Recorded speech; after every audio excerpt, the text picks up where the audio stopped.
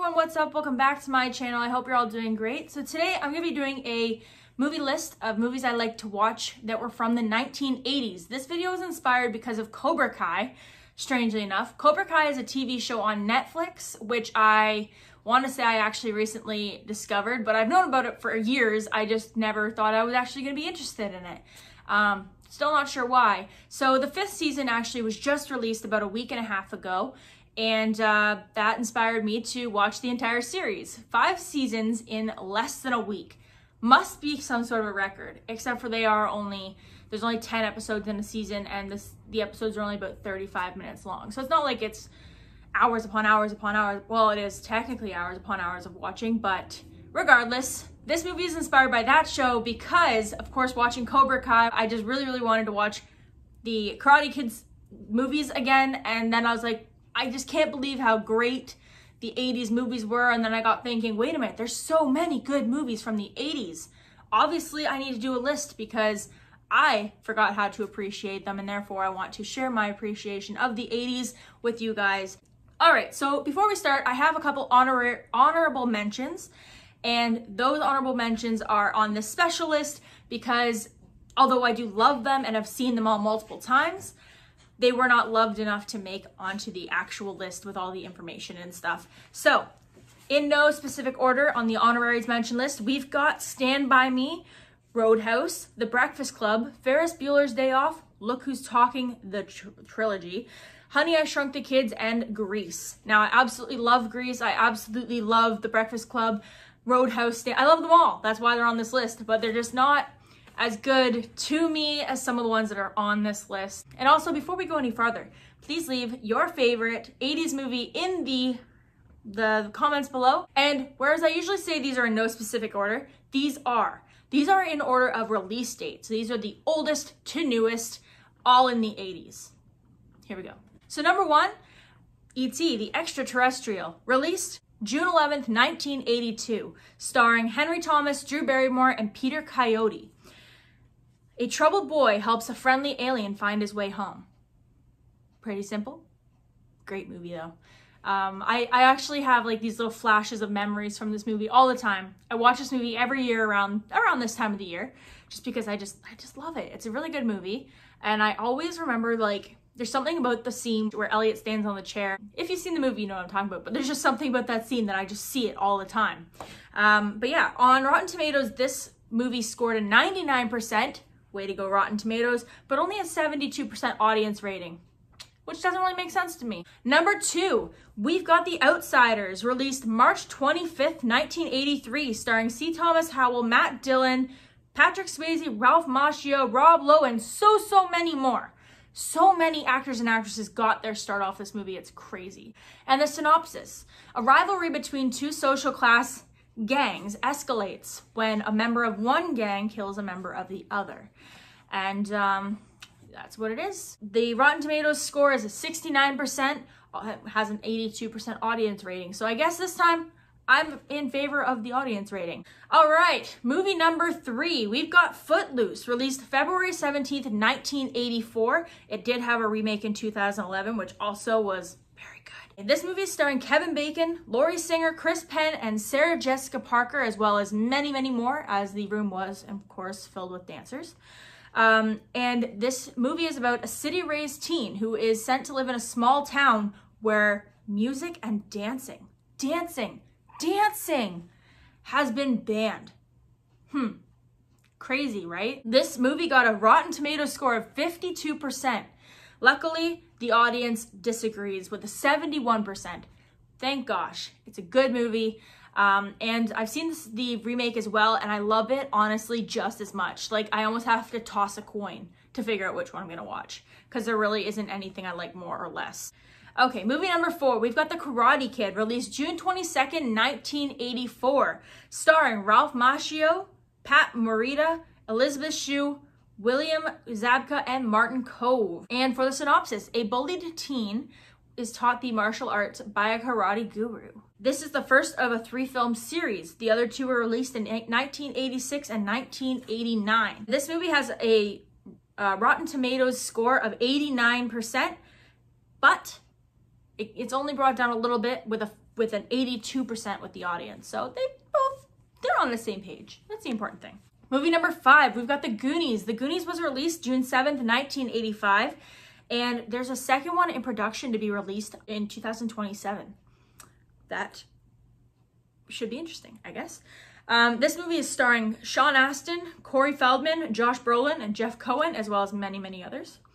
Not many, many, but many others, a few others. So in the Goonies, there's a group of young misfits who have found an ancient treasure map and have embarked on a journey to find the long lost treasure that belonged to a legendary pirate. So this movie had a Rotten Tomatoes score of a 76%, but the audience disagrees and gave it a 91%.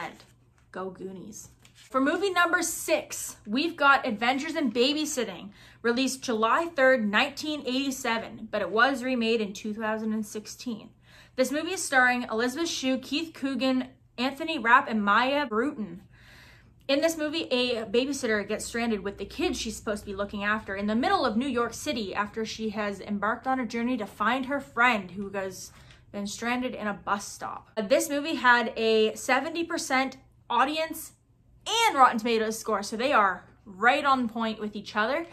And I agree, it's a very good movie. And I've watched it several, several times in my life. Um, from a very young age up till now. I watched it actually most recently in August. Very good movie, and I really, really enjoy it. Okay, for movie number seven, we've got Dirty Dancing, released August 21st, 1987. Uh, there was a sequel also released in 2004 called Havana Nights. This movie is starring Patrick Swayze and Jennifer Grey. While staying with her family in a resort during the summer, Frances falls for the sexy dance instructor. Uh, Rotten Tomatoes score of 71, but the audience overrules with a 90. So, number eight, we've got Overboard, which was released December 16th, 1987. It was remade in 2018. I personally did not love the remake. I personally did not finish the remake. I personally turned the remake off about 45 minutes through. So the original is starring Goldie Hawn, Kurt Russell, and Ed Herrmann. Everyone loves Ed Herrmann, especially my Gilmore Girls watchers, but also Kurt Russell, I think was the heartthrob of the 80s, um, right next to Kevin Bacon and Ralph Macchio and all of them because they all were heartthrob, heartthrobs back then. Um, but anyways, after an heiress mocks and rips off a hired carpenter, she then suddenly has an accident and develops amnesia. The carpenter then decides to claim her as his wife and introduces her to the life of a stay-at-home mom and wife. This movie has a Rotten Tomatoes score of 46, but the audience disagrees with giving it a 74. Number nine, we've got The Land Before Time, released November 18th, 1988. This movie was the first of 14 films that were released between 1988 and 2016. This movie, I am not kidding, was my childhood. I have seen every single one of these movies at least a dozen times each. Not to mention my son, who was born in 2015, has seen every single one of them at least a handful of times. And I actually loved that the entire series had pretty much come out by the time he was born because I never had to watch the same one twice in a day, which was great because when he was into The Wizard of Oz, or when he was into Jungle Book, I had to watch those ones literally as soon as it ended, it would be restarted. I was very happy that he loved dinosaurs. this movie is starring Gabriel Damon as Littlefoot, Candace Hutson as Cera, Will Ryan as uh, Petrie, Judith Barsi as Ducky in the first one, and Pat Hingle as the narrator. In the first movie, the one that started it all, an orphaned young longneck teams up with other young lost dinosaurs to search for their families in the Great Valley. It has a Rotten Tomatoes score of 64%, but the audience obviously disagrees and gives it a 79%. Thank you, audience.